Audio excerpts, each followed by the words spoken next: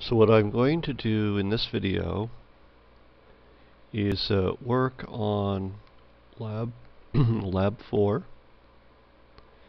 and uh, in particular I'm going to uh, uh solve this problem P326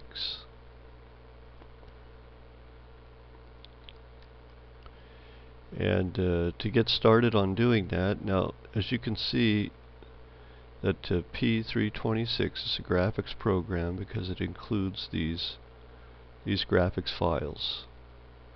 Uh, so let's um, and I'm going to do this on um, on Visual Studio in Windows. I'll go to my notes. I'll get the Hello Graphics program Windows version. And uh, just copy this.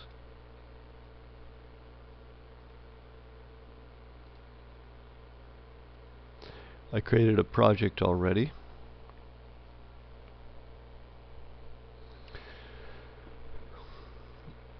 Make sure that when you create a project that you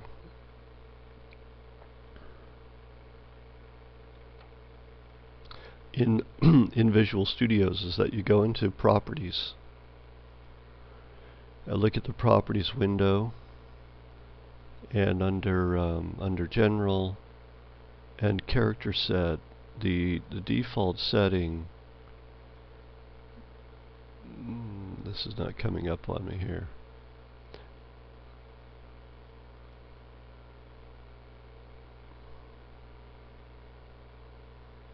There it is the default setting is to use the Unicode character set. That should be changed to not set. So that's important.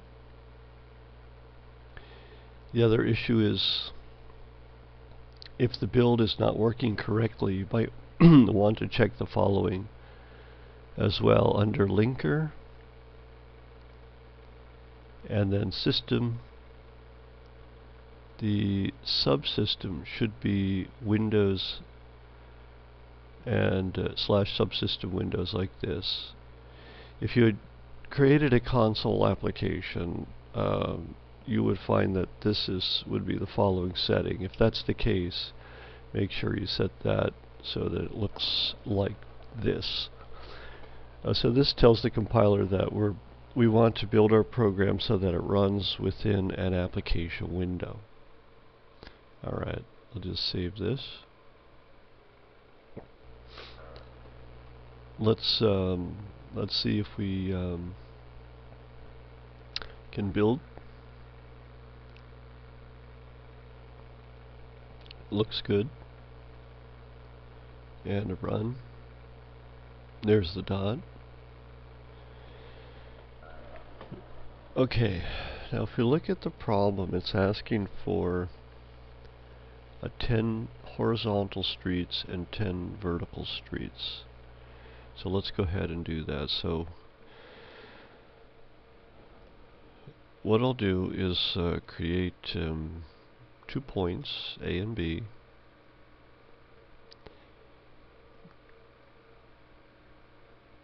At um, and that we'll draw a line from A to B. So we're going to initialize this. This A and B looks like this. So B is, um, let's start, you know what, let's see, let's put the line in the middle. Let's just see if we can do this.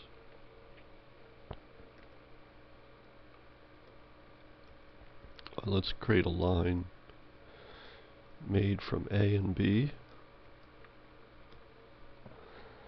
And then we'll output the line.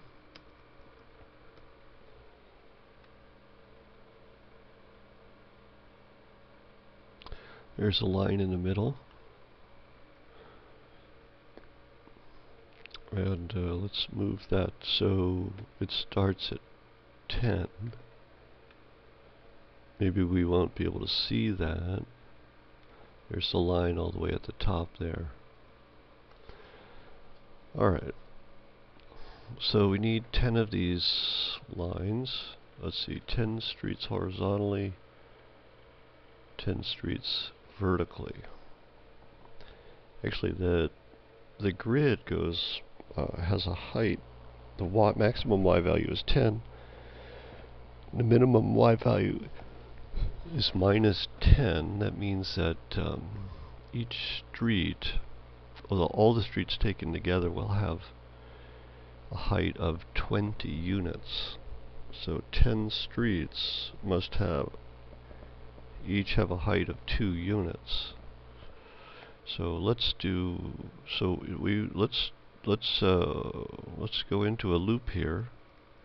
So we want 10 streets, so that means we know exactly how many times to to draw a line, which would be 10 times.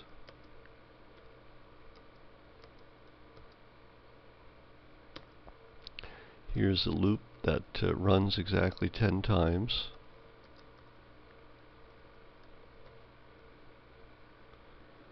So we start counting at 0 and uh, we stop when we hit 10. So we continue counting as long as we're less than 10.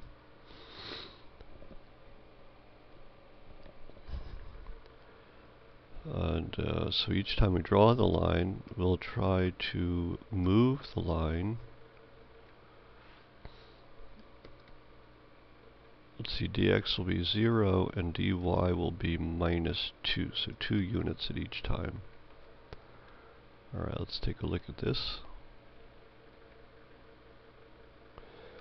There's our 10 streets. Horizontal streets. Now we need to do the same thing for the vertical streets. So let me call this the um, the H line, horizontal lines.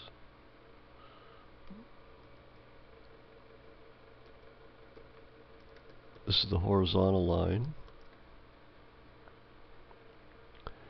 And uh, let's create, actually I'll do it like this just to make things more um, compact, the horizontal line, and this is the syntax for that, by the way, the horizontal line will start, will go from minus 10 to 10, I'm sorry, minus 10, 10 to 10, 10. Now we can eliminate this variables a and b. Here's the horizontal line.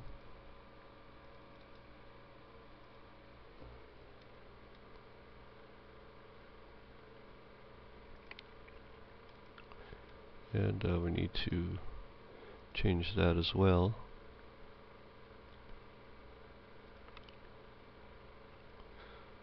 Okay, we have the same result that runs. Now let's create a vertical line and the um, here's the uh, vertical line. And it'll start in the same upper this is the upper left hand corner. And now we need to go down to the lower left hand corner which will be sorry x is minus 10 looks like that. Let's go ahead and um, and this vertical line needs to move to the right. So this would be um, this would be positive 2 and 0. We don't want to move in the y direction. Doesn't look good. Oh, we forgot to output it.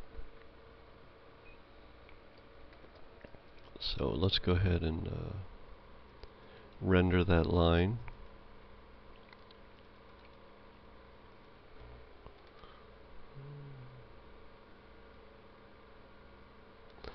Okay, we have the grid.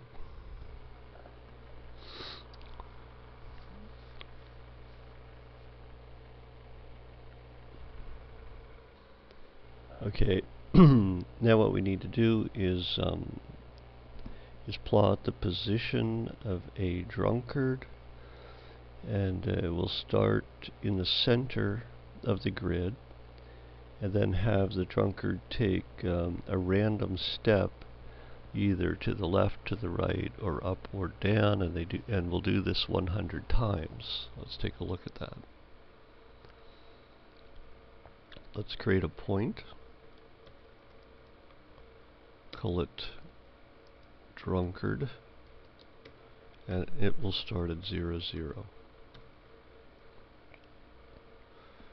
And uh, we'll do something, so it's going to be a loop.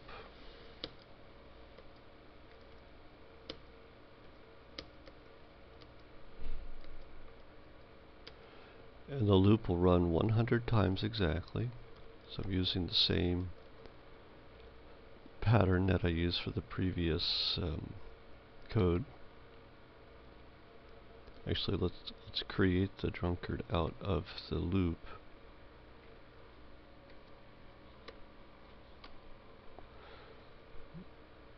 And uh, output here.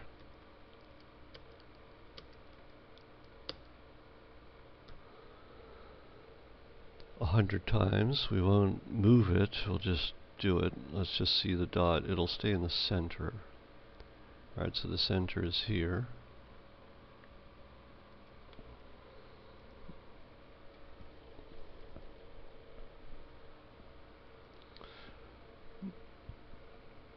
And um, inside the loop, what we need to do is uh, make a, a random step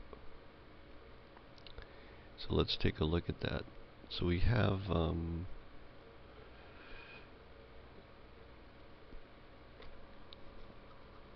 so so we want to take a random step either up, down, or is it east, west, north, or south? So we have to figure out how to do that. Let's see, so we need a random value. So that's the first thing. Let's let's just start with generating a random value. And uh, it will look like this. To get a random value, uh, we need a function, something like rand.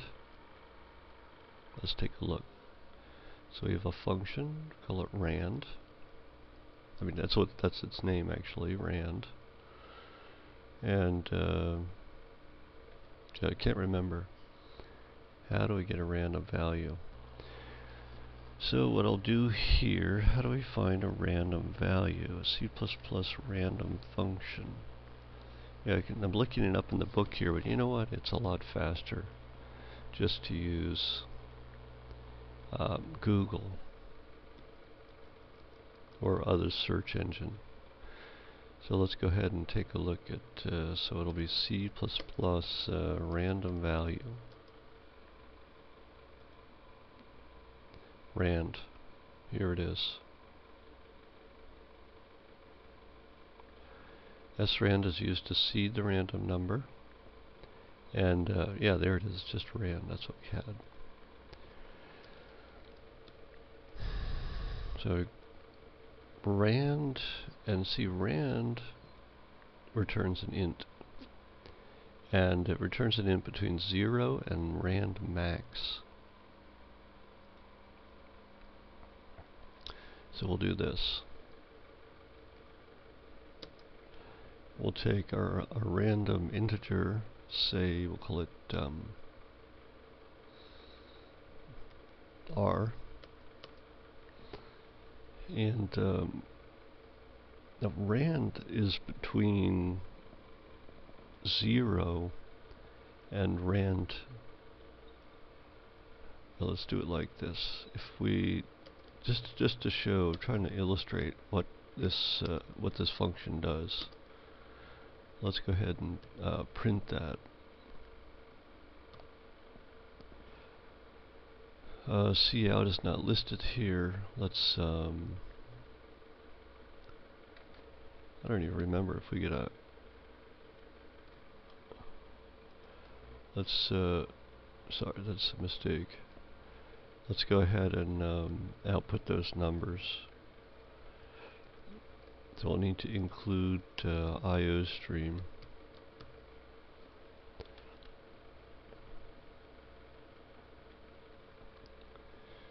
And uh, look down here. Where is the, uh, here's the output. See nothing written to, um, there it is.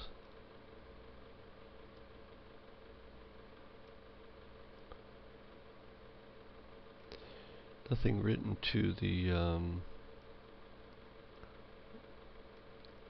to the output stream.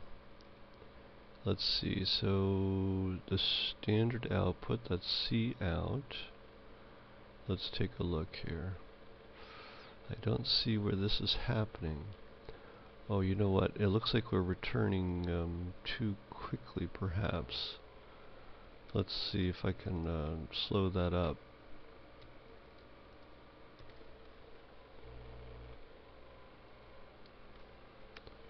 Kill the function, run it again.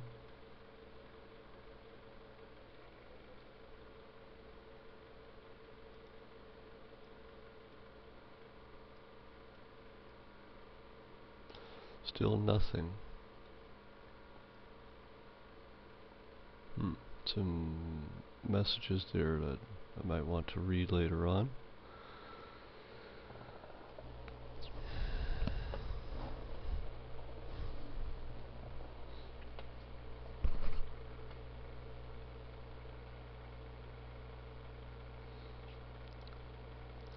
how do I get the standard output?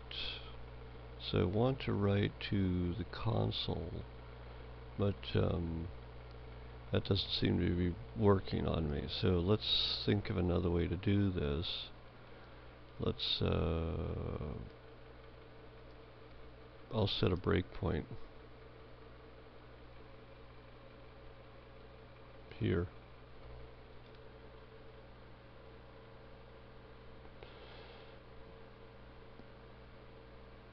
So R is nothing right now. I need to step. Actually, that's too... Uh, we can't read it there.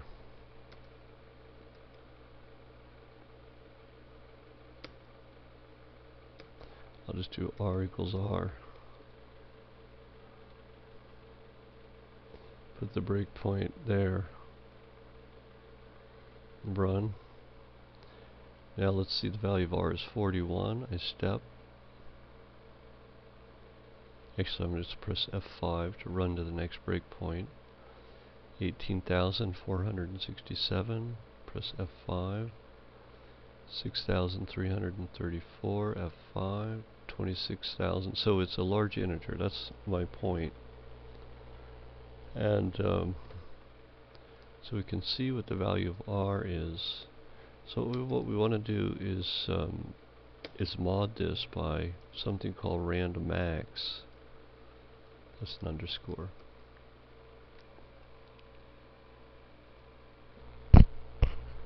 And uh, random max is defined as um, using hexadecimal notation, as you can see here, 0x 7FFF, that's hexadecimal notation that represents the largest um, random integer that's returned by rand.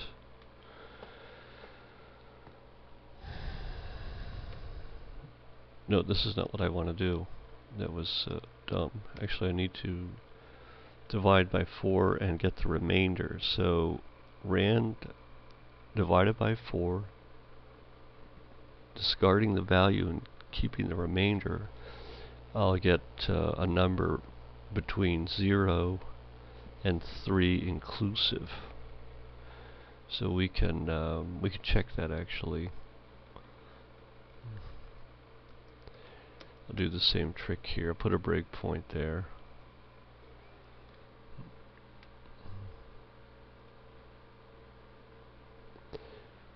Here R is 1, F5, RS3, F5.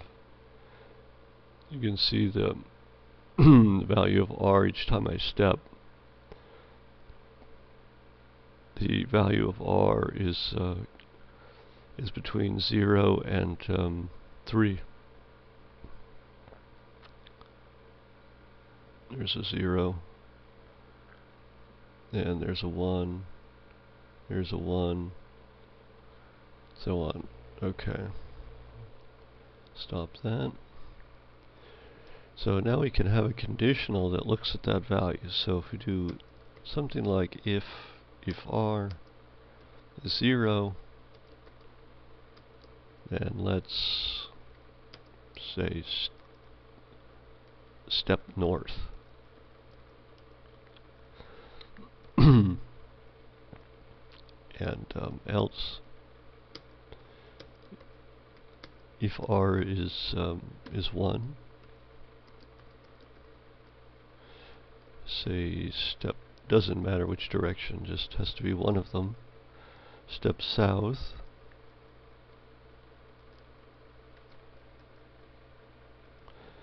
And if r is um, is 2 or 3 so we'll step um, east and step uh, west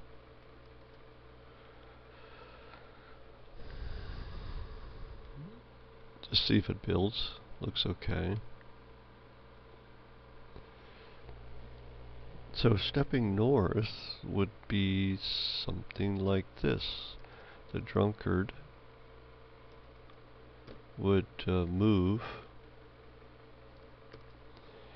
uh, one step up. So 0 in the x direction, 1 in the y direction. Similarly for the other um, directions.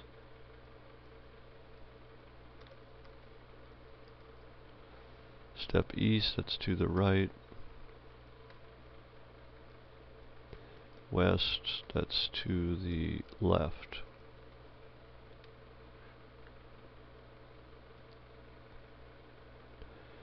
So that's the walk. It's nice to get an animation. This this is everything all at once.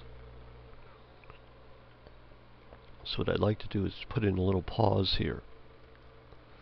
And uh, I'm going to show you a trick that works in uh, Linux and uh, Windows, and I assume it works on Macintosh as well. I'm just going to run a little loop here. Start at k equals 0. And uh, we're going to go to uh, some large number, say 100. That's not that large. And then uh, add add k. So we're going to run. Um, we're going to call um, repaint.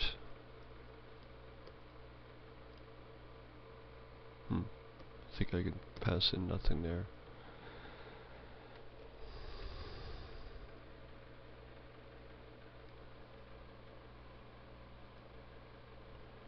repaint doesn't take zero arguments. Let's see, this is a paint struct. Hmm. Let me see what else I can do. I think that repaint takes zero arguments on uh, when you build under Linux. Let's take a look here. This is uh, see actually on Windows we don't have to do anything. This is repaint.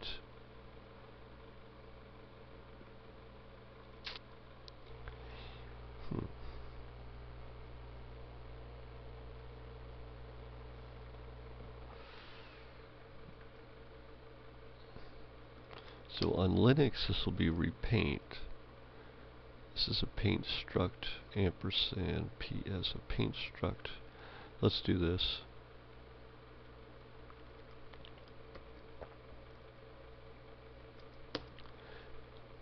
we just pass in this this dummy uh, argument Everything goes really quickly there, doesn't it? Let's put a let's put a thousand in here. See if we can see some difference. Hmm.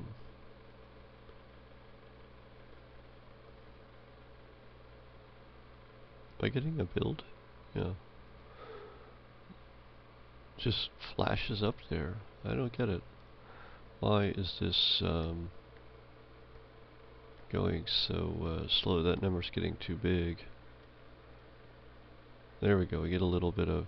Look at all of those. That's an awful lot of calls. And... Uh,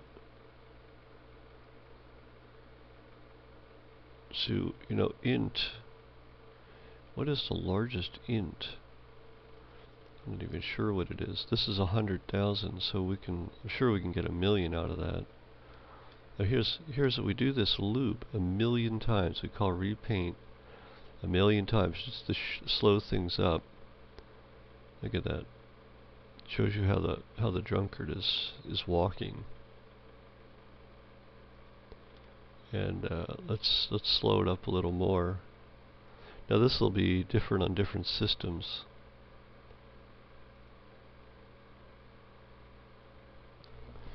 Just so we see the progression of the of the drunkard. This is called a random walk. I think we get we get exactly the same walk each time. Look, see this these two things here and that. Let's see the the pattern is the same each time. Well, let's do it like this. Just take a couple zeros off. Just to just run it over and over again here. See that pattern? It's exactly the same each time. And the problem is um, this function rand is returning exactly the same sequence of random numbers each time. So we need to uh, we need to do something called seeding the random number generator. We use srand to do that. So we got to pass in some random value. And normally the trick is to um, to pass in the number of seconds. We do that by calling time. And let's see, time is in a header file. I don't know which one it's in actually. Is it something called time? Let me see. Where is time? Uh, no, I think is it ctime? I, I can't remember this. Let's try that. That's not it no overloaded function. We'll have to use Google again. And uh, actually, here's the C library. Let's look for a function called um, time. Actually, here's an here is a, an example, and I'm sure they seed the random number. Oh, there it is, right there. It's actually it takes a takes a null or a zero. I forgot to do that. So time is um, uh, takes a zero here. Let's see if we get it this time. Oh, look at that. That worked. So if I include ctime, let me just take ctime out and watch watch the build fail. There it is. So time not found. ctime has got it.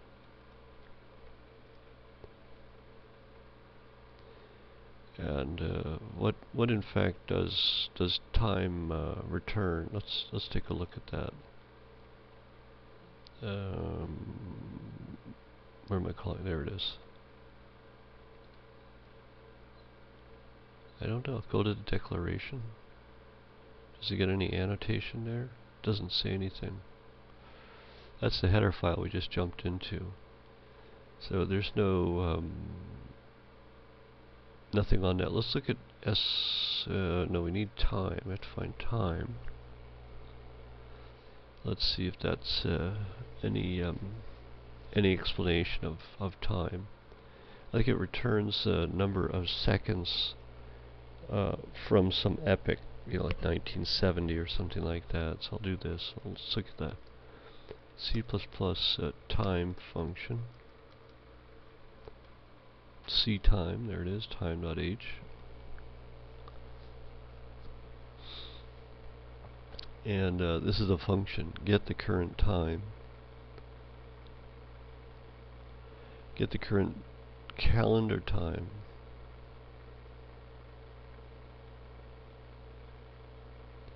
It takes a, a timer. It's a pointer to a time t we pass in 0. So we pass in as a pointer to called a null pointer.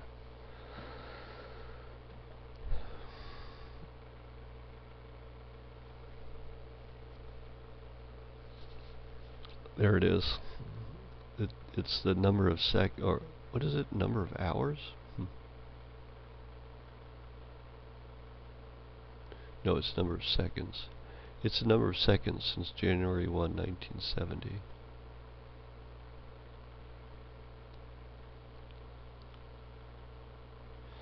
Okay.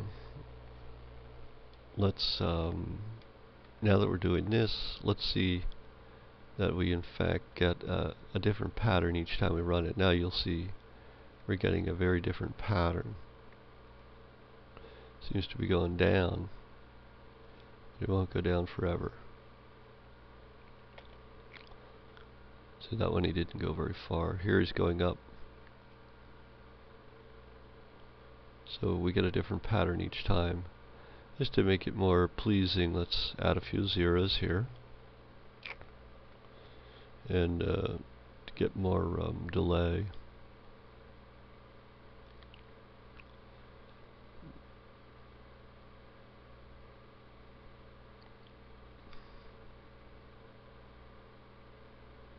Maybe that's too slow for me now. Kill that. I'll cut the time in half. Once again, this is platform dependent. Depends on also depends on what else is going on, on in your machine. This um, so here we go off the edge and we come back again.